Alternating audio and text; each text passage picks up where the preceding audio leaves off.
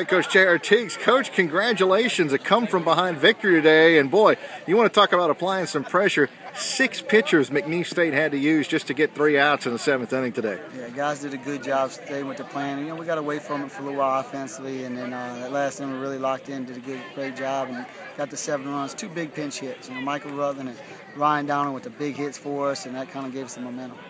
The guys come through uh, here in the last series of the year, putting some pressure situations, and uh, they do what they're supposed to, and that got to make you feel good heading into the tournament. Yeah, you know, it gives us momentum, and that's what you want. You know, we won the last series, been playing ball well, uh, real good baseball as of late. You know, but today getting that win is really big for us and gives us some momentum going into this uh, San Marcos.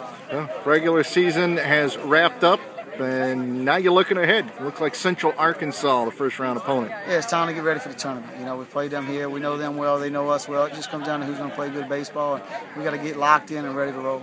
All right, Coach. Best of luck in San Marcos this coming up week. Thanks a bunch.